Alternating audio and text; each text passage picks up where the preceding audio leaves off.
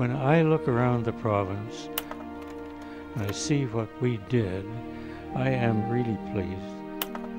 We had a chance to establish a kind of park system that would be almost unique in the world. That I pointed and said, make those parks. And they did. We were there for the creation of this thing. If you will, we were part of building the cathedral. We are custodians of a remarkable resource. I see parks as arks. They are really the place where the whole record of creation is kept for the future. They are irreplaceable.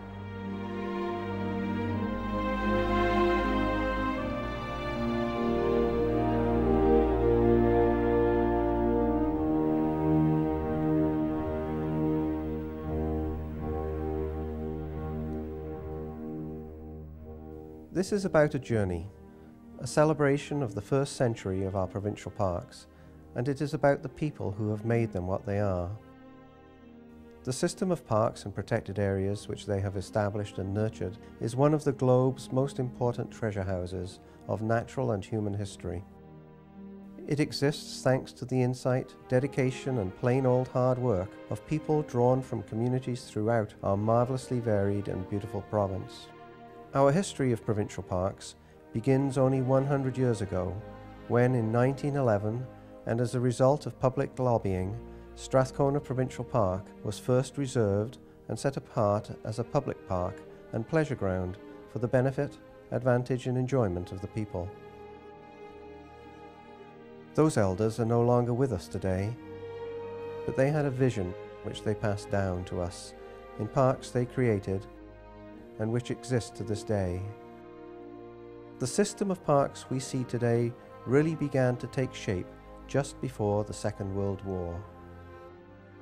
If you look at the uh, Forest Service annual report for 1939, uh, you will see reference there to the uh, Forest Service having been assigned by law in that year responsibility uh, for provincial parks.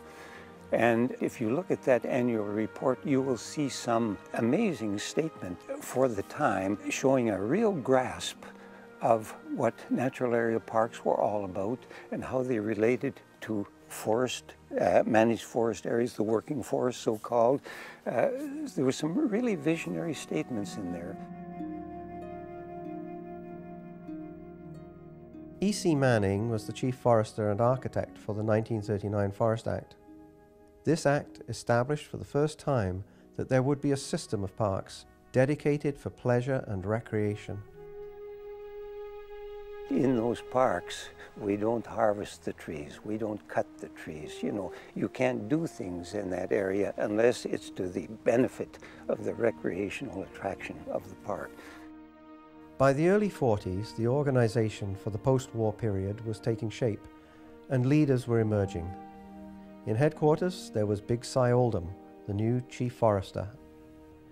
Mickey True, Chess Lyons, and Don McMurchie, who was also to craft a vision for the future of parks in BC. In the field, the first park rangers were men such as Ole Johansson, Bob Boyd, and his right hand, Davy Davidson. Following McMurchie's paper, the uh, administration saw fit to establish a separate division in the uh, Forest Service, the Parks and Recreation Division, and that really is the forerunner. That's the beginning of what became the Provincial Parks Branch. Uh, initially, the thinking was we had to get the public out uh, and get them familiar with the parks and where they were. And also with people now leaving the city, uh, seeking escape from urban environment, there was need for a type of park uh, that was not prominently in the thinking of the park agency, and that is the, the smaller 1,000 acres, 3,000 acres, multi-purpose park close to urban centers where people could come out of the city and enjoy a natural environment. Following World War II, the demand for accessible recreation opportunities mushroomed as our resource towns boomed. New staff were hired, men like Lloyd Brooks, Bob Ahrens, and Bob Broadland, who would influence park management throughout the entire country for a generation to come. And new roads were developed to open up parks like Mount Seymour and Silver Star, basic recreation facilities, campgrounds and trails were built and the youth crew was established. And as the decade ended, it was clear that a new organisation was needed to manage all this into the 1960s. In 1957 is when the Department of Recreation and Conservation was formed. Prior to that, when I first started, got hired on, it was the Forest Service, but Champion Lake was one of the first major parks that were undertaken by the Department of Recreation and Conservation. And then there was the Okanagan and Shuswap. Them were the three main parks under development. The 60s saw park visitation doubling, and by the middle of the decade, the first Park Act was proclaimed. This act legally established an organisation with authority and presented a comprehensive legal framework to ensure protection and conservation stewardship of all designated parks. The 60s also saw some of the first organised public campaigns to protect parks, such as Strathcona, Hamber and Tweedsmuir, and in the Skagit Valley, the proposal to raise Ross Lake for Seattle City Power became the lightning rod for a generation of environmental activists. The late 60s saw the public starting to stand up to argue that some of the uh, allocation choices made by government had not been right. They wanted to see more conservation, whether it was in the remoter country, whether it was close to the towns, uh, wherever.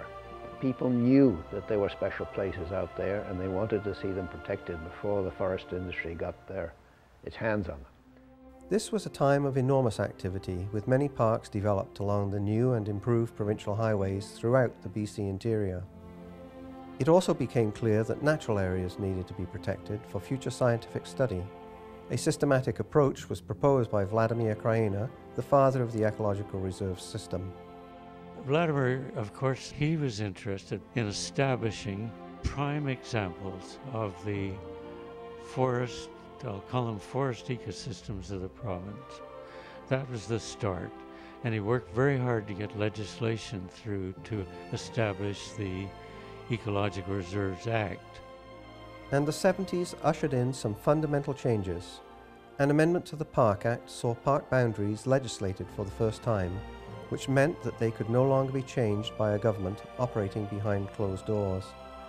The Park Act now had precedence over almost all other provincial legislation. The new Act also brought into the park system, for the first time, an enormous acreage of new wilderness parks.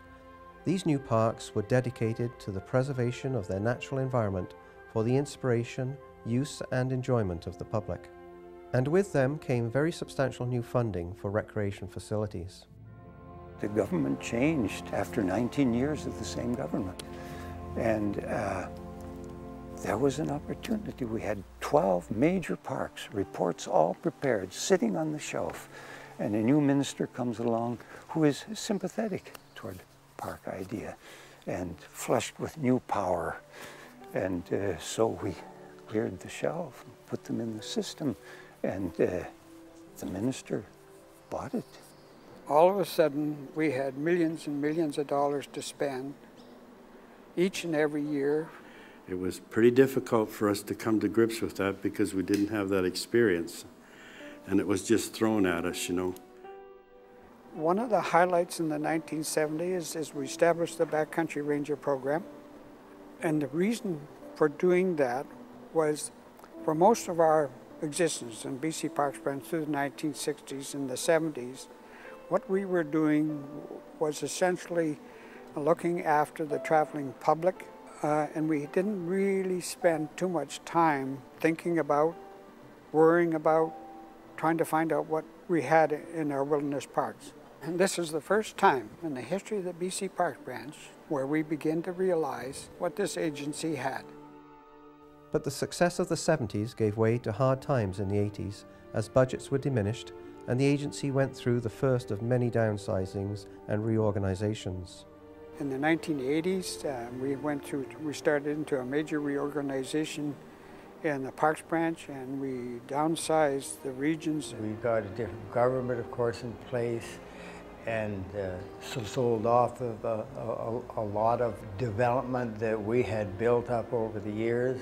Uh, did away with a lot of programs that we had developed, uh, like the Youth Crew was one of the major programs that, uh, that had built all, just about all the trails in, in the province at that time.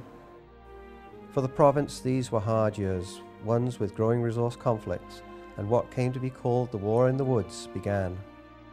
Parks became much more a concern and wilderness to the public at large with the Wilderness Advisory uh, Committee that came along in the mid-80s, of course South Moresby, and it was also the time when we started thinking about protection of a system of parks. The 1990s was a period of very intense activity. Uh, it seemed like endless uh, land use processes, negotiations, but it was a time when we moved the agenda very, very rapidly. There was a period of time in the mid-1990s when we were protecting 100,000 acres of parkland every month, and we did that for 36 months running.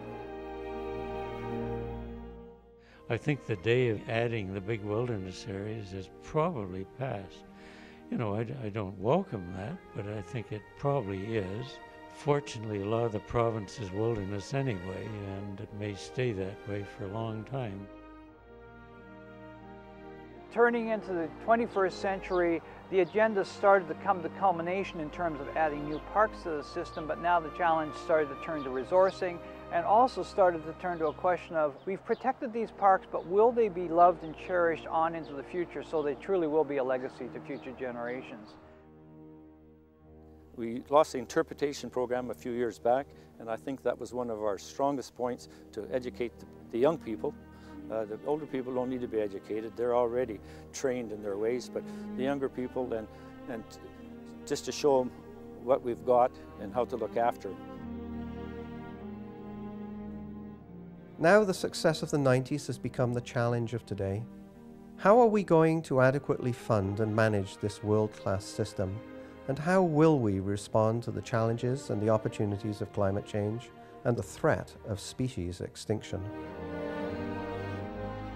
I believe that the provincial park system will continue to deteriorate unless we can raise the funding levels to a level that recognizes their local, national and international significance.